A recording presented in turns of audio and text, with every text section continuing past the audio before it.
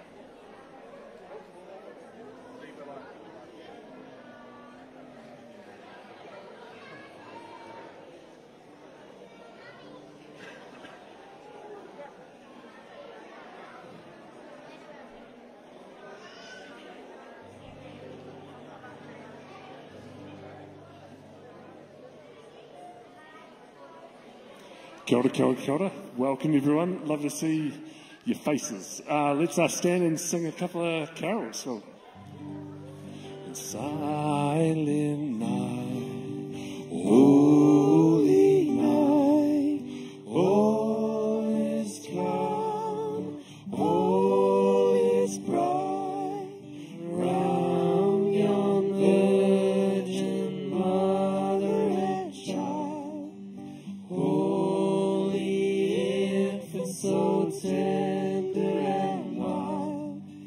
sleep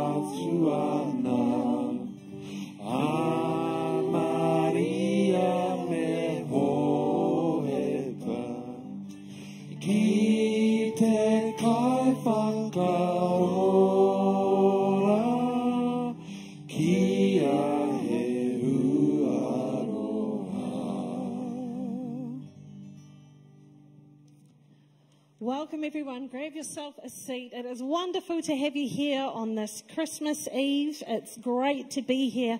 Who's feeling a little bit excited for tomorrow morning? I'm feeling a little bit excited. A special welcome too to our special guests today. Can you see our animals over here? So they're going to be here for the whole service to help create the scene of the very first Christmas. And then after the service, they'll be outside and we can all go and give them a pat and say hello to the um, animals. My name's Carolyn. I'm the vicar here at All Saints, and it's wonderful to be able to welcome you here today. A special welcome if this is your first time here ever, if you haven't been to church ever or in a while, it's wonderful to have you here. I'm looking forward to being able to sing some Christmas carols with you today. Just to let you know what's happening, we'll sing some Christmas carols together. We're going to hear about the Christmas story. And one of our traditions here at All Saints is we take up an offering, some money to donate to a health project we support in Uganda called One Day Health. And we're going to hear a little bit about that later on. So if you're able to support that, that would be amazing. Now, just if you've got really little kids and they would prefer to run around than sit, we have a room here and you can see the big window with front row seats of the animals and there's a screen there with the service. So you are welcome at any time to wander out, to watch through the window and to see what's going on through there. You're more than welcome to do that. Right now, we are going to watch a video, an oldie but a goodie from New Zealand that retells the Christmas story, and then we're going to have a wonderful item from the Williams Lemi whānau. So sit back and enjoy as we remember the first Christmas.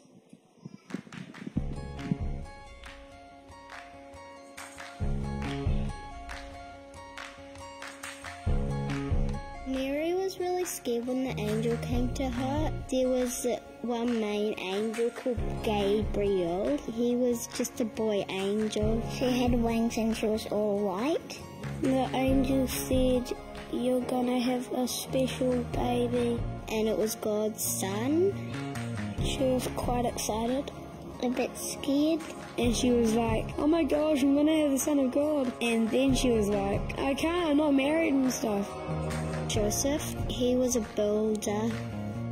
Mary told Joseph that she was having a baby called Jesus and it was God's son. He was like, What?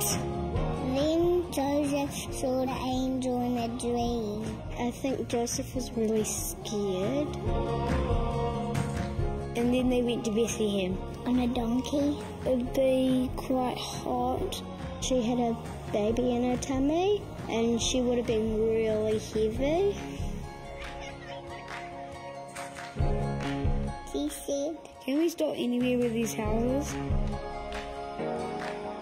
They had to try and find somewhere for Mary to have the baby. They went round a whole neighbourhood. Everyone said no in an angry voice because it was the middle of the night. The last innkeeper, he said, yeah, there's a barn type thing around the back. They had to go to a barn and have their baby. It had sheeps. It was like all hay and animal poop and sheep and things.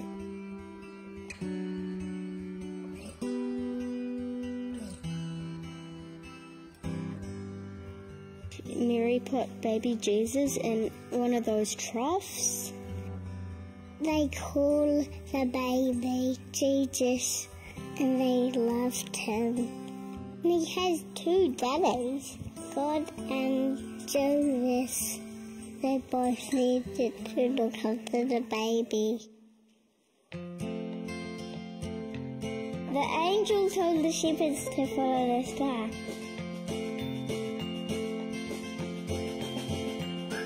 three kings, they followed the star all the way to where Jesus was born.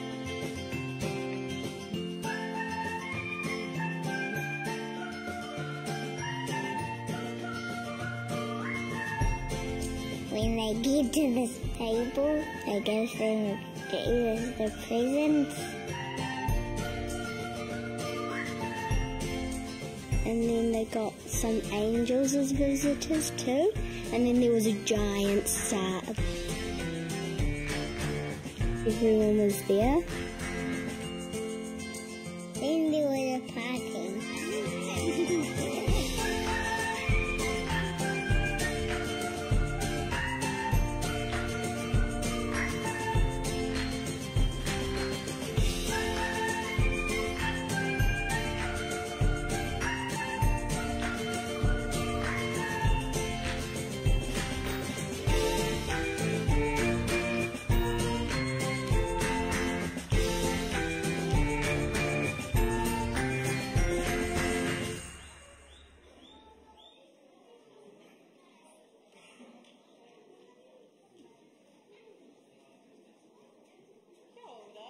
Kia ora, testing. Oh, mauri ore te whānau ko Seal tōku ingoa. My name is Seal.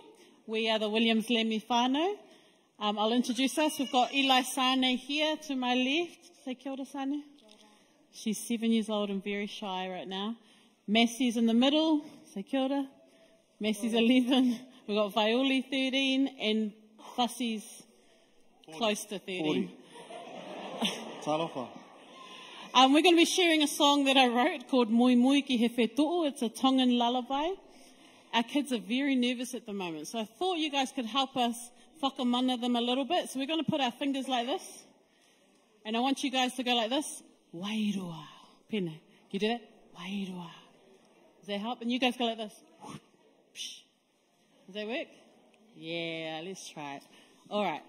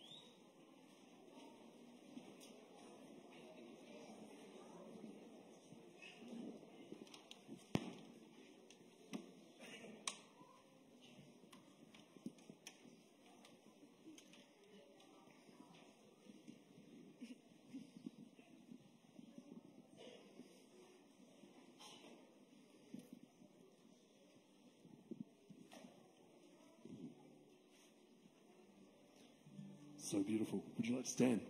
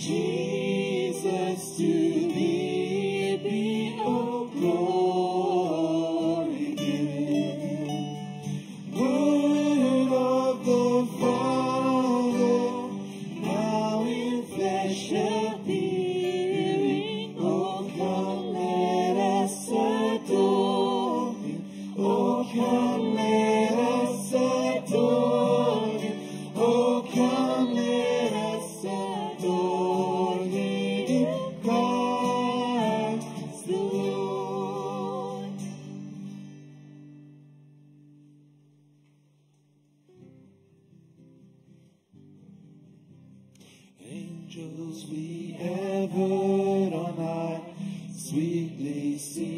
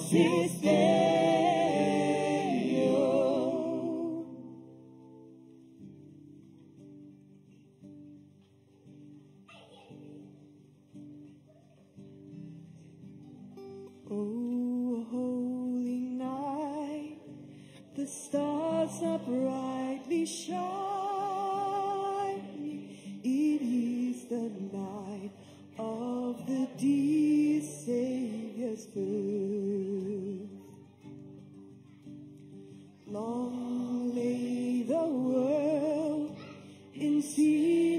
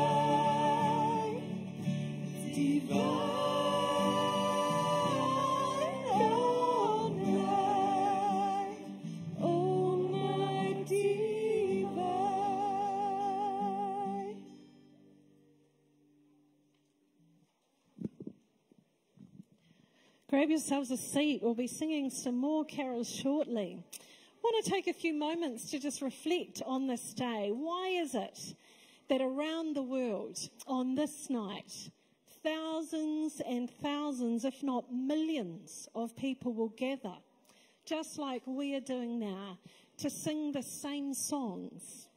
What are we remembering? And why bother all these years later? Just recently, I got a new laptop.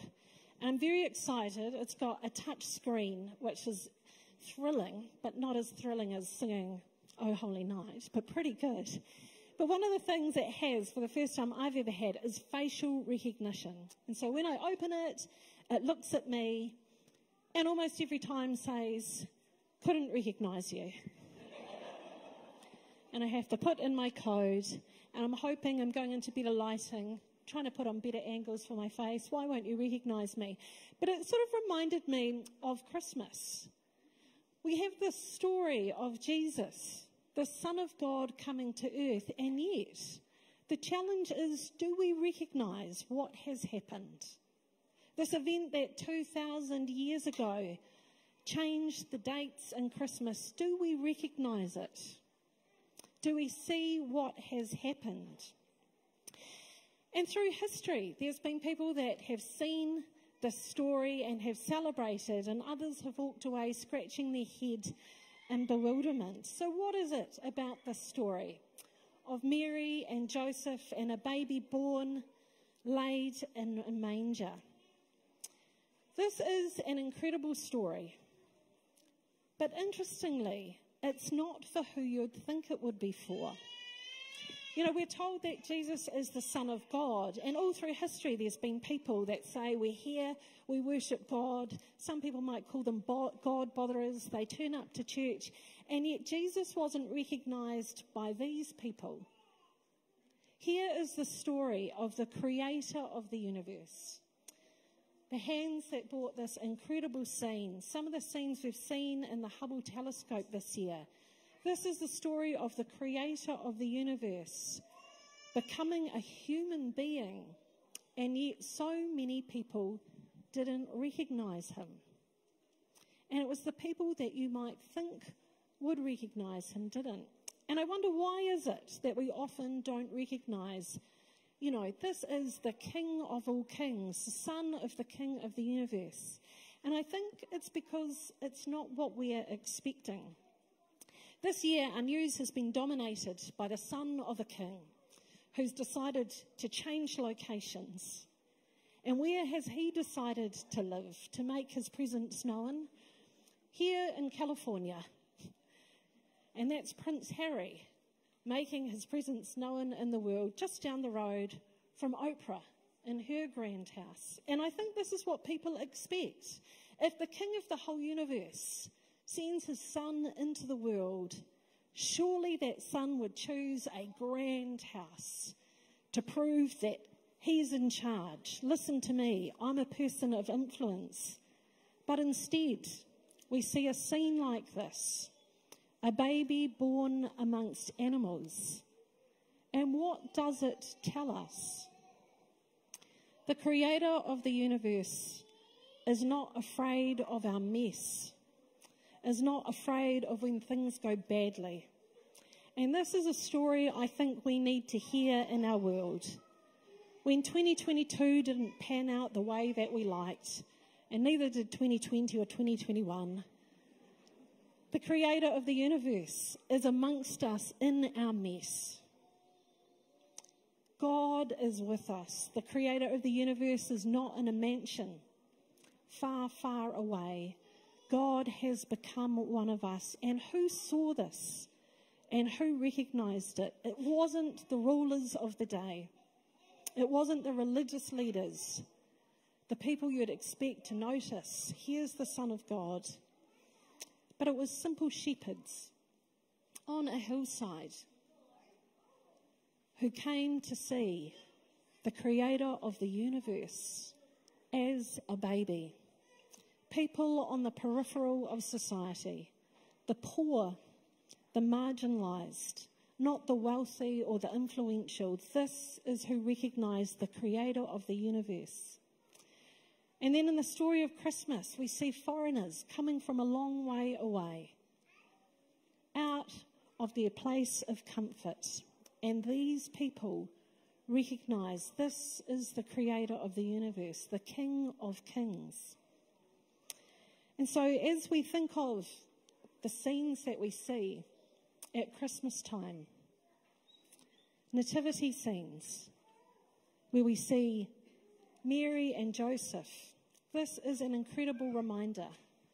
When the creator of the universe came to earth, it wasn't who we expected to recognize him. The outcasts, the foreigners, the people who felt lonely and overlooked and abandoned, these are the people who could see God's presence. And so this Christmas, here is a challenge for you.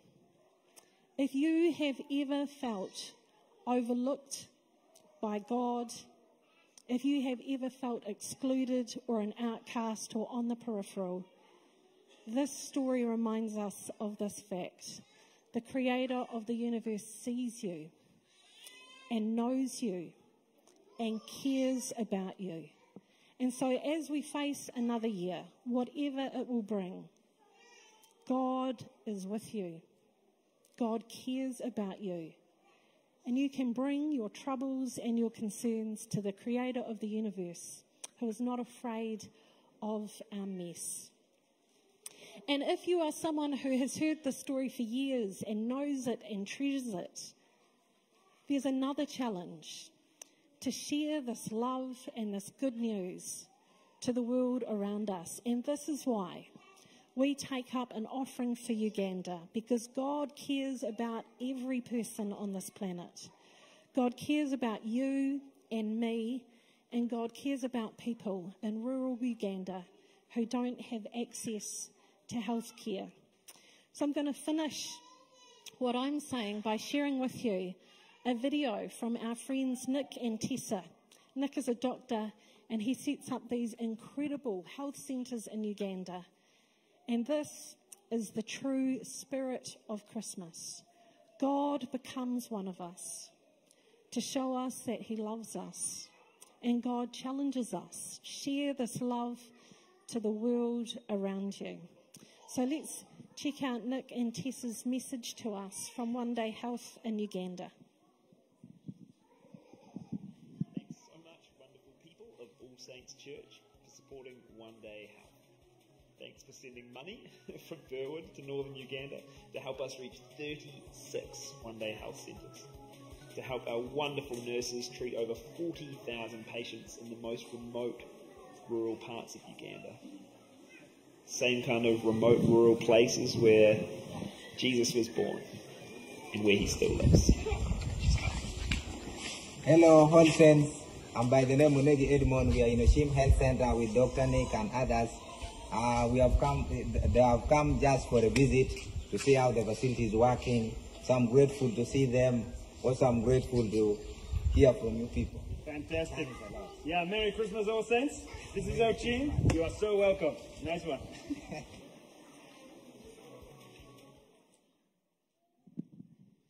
Before we join together and sing some more carols, let's pray together.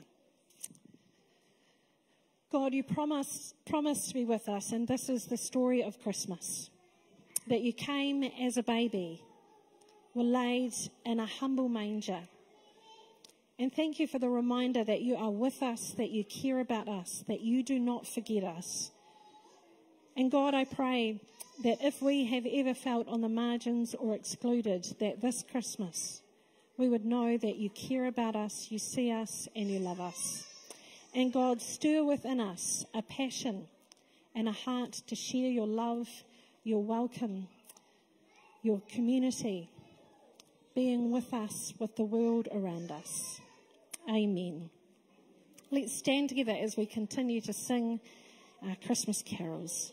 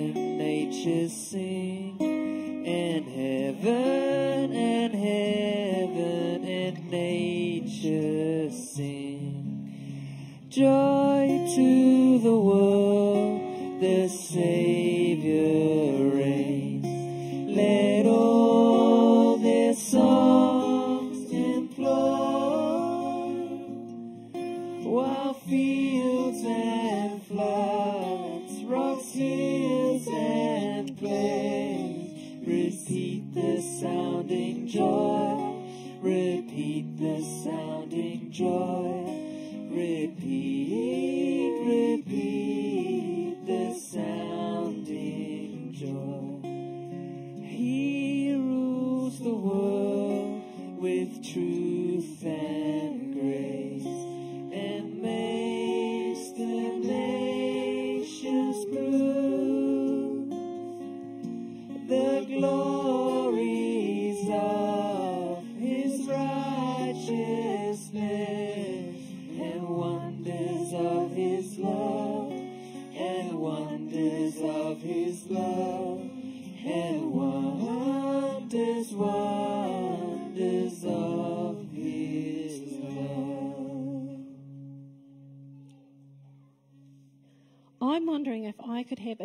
Come and help me because we are going to light the Christmas candle.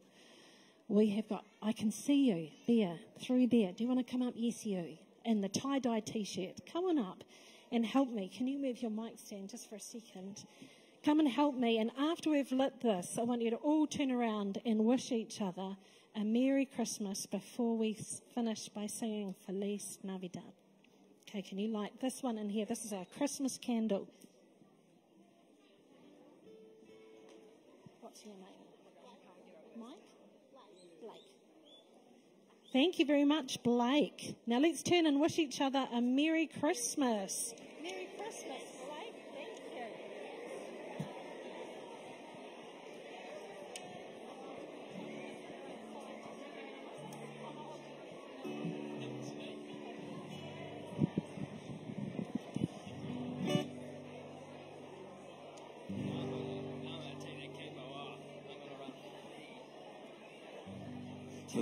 Navidad. Feliz Navidad. Feliz Navidad. Prospero año de felicidad. Feliz Navidad. Feliz Navidad. Feliz Navidad. Prospero año de felicidad.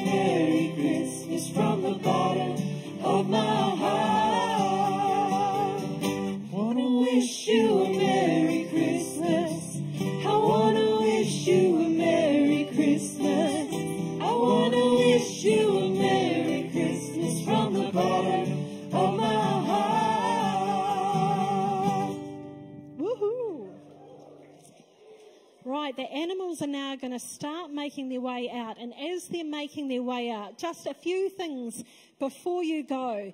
You will find people in grey t shirts holding boxes that say One Day Health. Where are those people? There we go. We've got Ben. Come on in, people. Come on in. Come over here, Isaac.